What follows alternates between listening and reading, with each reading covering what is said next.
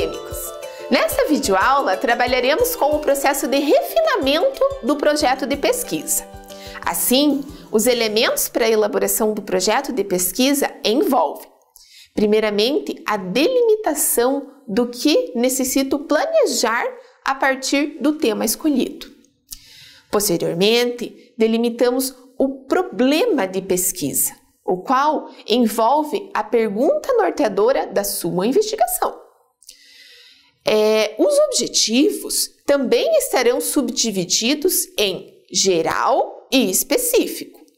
E é extremamente importante formulá-los com o verbo no infinitivo, recordando que estes têm as seguintes terminações: em ar, er ou ir. Outro elemento do processo da pesquisa é a questão dos referenciais. Estes, por sua vez, abarcam as principais pesquisas da área.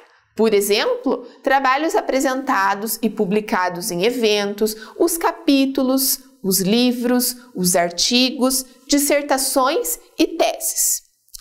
Também, no processo de refinamento do projeto, trabalhamos com o elemento da metodologia. Este é o momento do texto em que as descrições sobre os instrumentos estarão presentes no processo de investigação.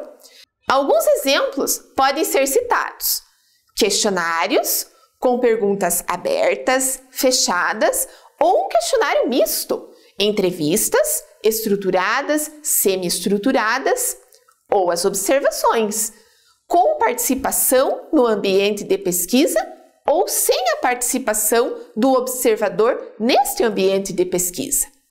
Outro elemento é composto pelas referências. Para a apresentação das referências, é extremamente importante verificar o Manual de Normalização Bibliográfica da UEPG, formulado a partir das normas da ABNT. Elementos centrais que serão observados nessas normas são os seguintes: fonte. A fonte é sempre tamanho 12 para o texto e tamanho 10 para as citações. Também para as notas de rodapé, para a legenda das ilustrações e das tabelas, a paginação e a epígrafe. Também relembro a respeito da formatação das margens para o texto, sendo elas superior e esquerda 3 centímetros, inferior e direita 2 centímetros. Para o espaço entre as linhas do texto, utilizamos a formatação 1,5 centímetros. Existe uma grande diferença na realização de citações e de paráfrases. Atenção! Citação envolve a cópia do referencial. Logo, colocaremos autor, ano e página.